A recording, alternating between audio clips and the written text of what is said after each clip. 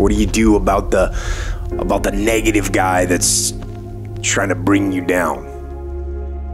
Ignore and outwork, outperform every last one of them. While you're over there watching me and talking about me, I'm working. I'm working hard. I'm taking things to the next level. You keep gossiping and I'll keep working. You keep talking smack and I'll keep working.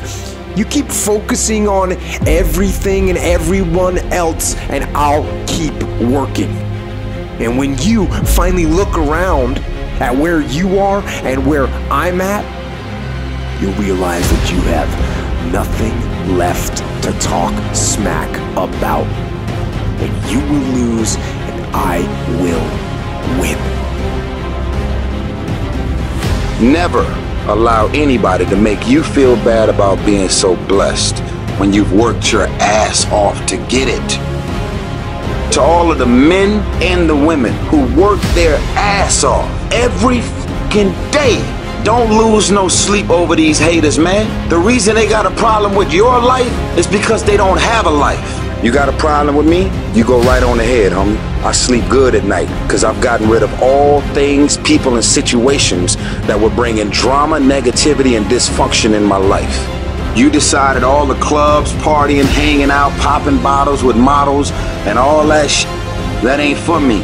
I'm gonna be out here running in the hot sun, practicing, playing basketball, shooting on weekends while everybody else is clubbing and hanging out. You got your focus right.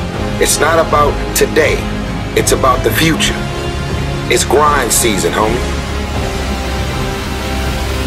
We all have shit happen in our lives, but it's what we tell ourselves about what happens that determines how we feel about that situation. This isn't just something that happens or a test that you can pass and then you can do this all your life. This is a daily, constant effort to look at solutions, not fucking problems. Train your mind. Train your mind not to focus on the problem and make it bigger, but focus on the solution to solve it. Work on how you interpret problems and the things that happen around you. Stay positive, stay focused, and most importantly, stay strong. Life is always going to throw shit in your way. Things that will test you, things that will make or break you. And you've got two options. You can just stand there and take it like a little bitch, or you can smash through the fucking thing and move on with your life. You can either be a victim of your life or the master of it. The choice is yours.